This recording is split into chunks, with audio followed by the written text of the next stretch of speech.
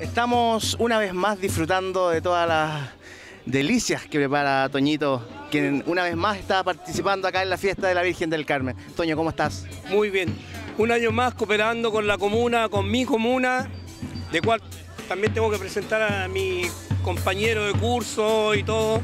Tenemos un gran historial. Nosotros, somos oriundos de Belarco, representamos, trabajamos en la comuna de Santiago y somos orgullosos de llevar nuestra tradición de comida chilena hacia Santiago y a todo Chile.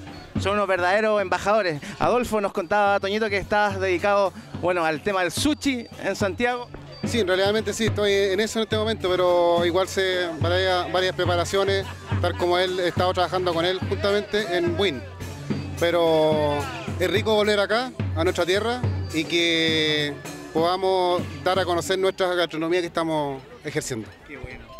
¿Qué les ha parecido la gran cantidad de gente que el día de hoy nos acompaña? tú, puedes ver ahora, eh, tenemos que agradecer, bueno, agradecer a, nuestro eh, alcalde y también hay que agradecer a la Virgen que nos ha proporcionado un buen día hoy. Tú puedes ver, estamos colapsados ya, casi nos queda el último cordero, pero no, buenísimo, agradecido al público y tenemos que dar las gracias para que sigamos el próximo año esto sea más grande todavía aún, más grande. Así es. Benito, cuéntanos un poco cuáles son los productos que tienen disponibles el, día de hoy para seguir invitando a la gente que venga a participar y a disfrutar de, sus delicias.